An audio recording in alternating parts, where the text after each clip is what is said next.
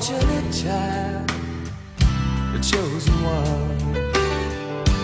He kept his face to the sun, his back to the past, but his walk was not done. He turned around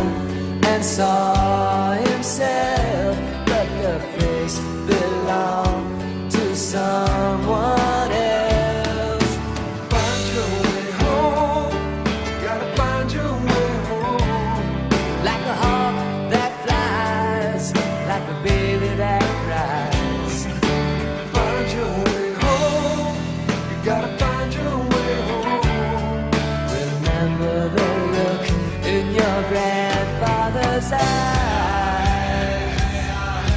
Hey, hey. He went to the place of his birth, the sacred land, his mother earth.